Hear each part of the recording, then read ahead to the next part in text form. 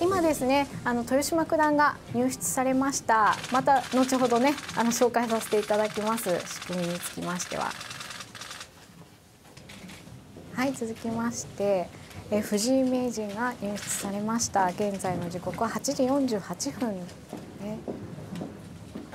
爽やかなこう青のねそうですね。香りを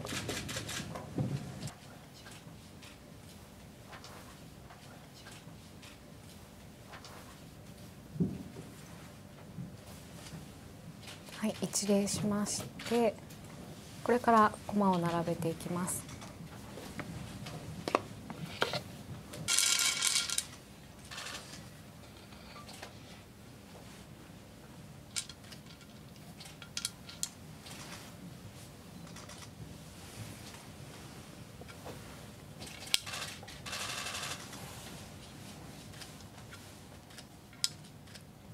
左右で交互に並べていく大橋流ですね。そうですね大橋流皆さんうん用いられている気がしますね、はい。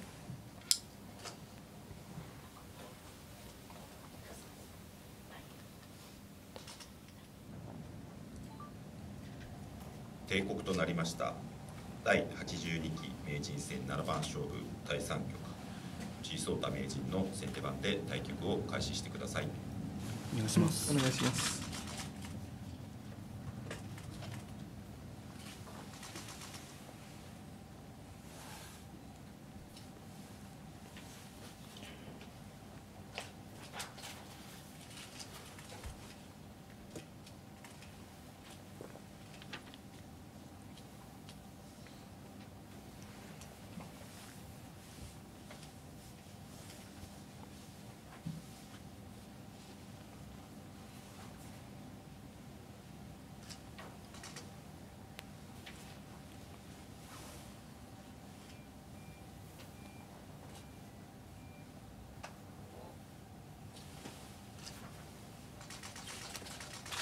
さあ注目の初手は2六歩ですね。はい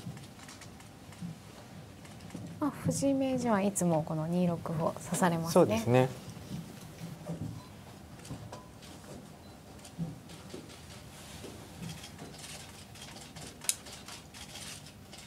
豊島九段は3四歩でした。やはり藤井名人の角換わりは受けないということで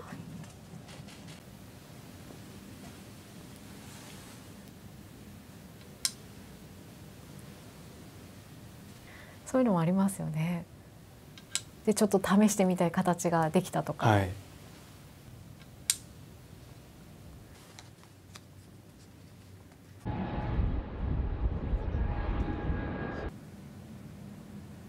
そういう駆け引きはやっぱりその言われればああなるほどって思うんですけど、はい、今封じますとの声がありました、こういう駆け引きもね封じ手がある棋戦ならではあのそうですね。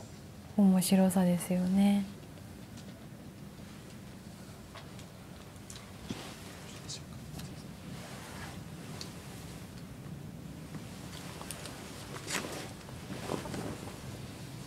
約20分くらいですか？あのフジテジック過ぎてか。ら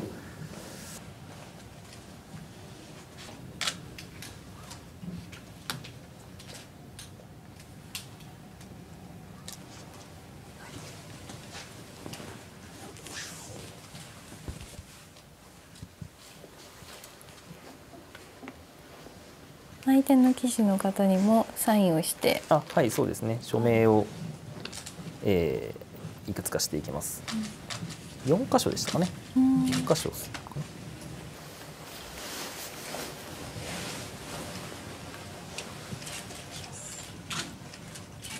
藤井名人が45手目を封じ第3局1日目が終了しました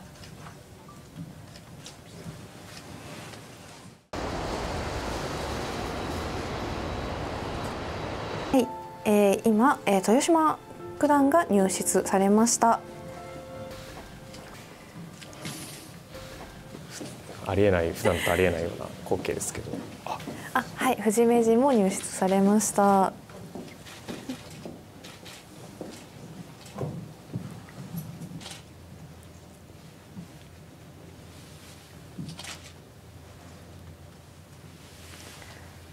い一礼されて駒箱が。開けられます。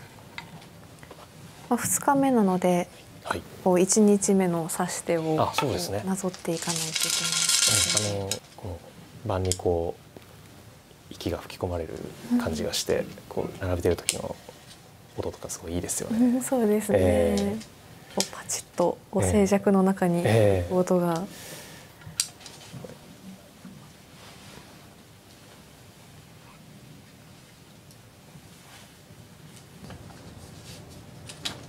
封じ手は一六角です一応角でしたか。はい、封じ手は一六角でした。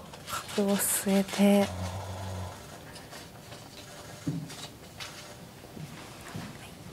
第82期名人戦7番勝負第3局2日目藤井聡太名人対豊島将之九段いよいよ対局再開で第す対局を再開してください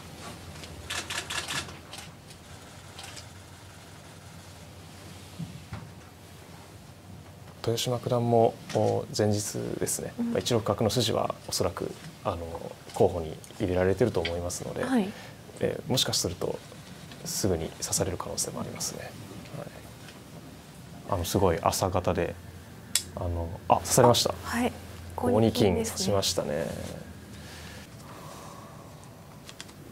あ2六竜と引いた段階から利かして6四銀みたいな感じですか。役者のお二方の雰囲気を見るに。終局が近いって聞いたことあります。聞いたことありますけど、はい。実際のところどうなんでうしょう。んやはり差がついてきたことの証ではあるんですかね。あ